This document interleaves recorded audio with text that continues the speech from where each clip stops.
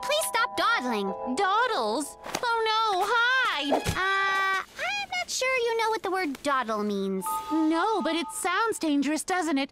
Dawdle.